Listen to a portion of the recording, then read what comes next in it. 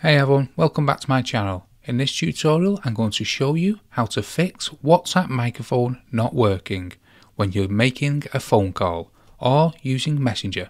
It's a common issue that can be frustrating to deal with, but luckily there are a few simple solutions that can get you back up and running. The first thing we want to do is try restarting your device. Sometimes WhatsApp can actually glitch and not receive the correct messaging. It needs to use your microphone.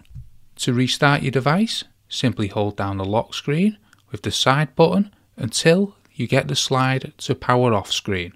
Slide to power off and wait a few moments or a few minutes before turning your device back on using the power button on the right hand side. If restarting your phone doesn't actually work, check your permissions and make sure WhatsApp is actually having the permission to use your microphone.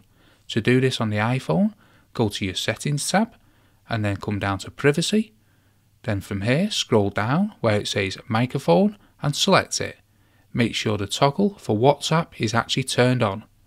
Once you've granted WhatsApp permission to use your microphone, exit out of your settings and reopen WhatsApp.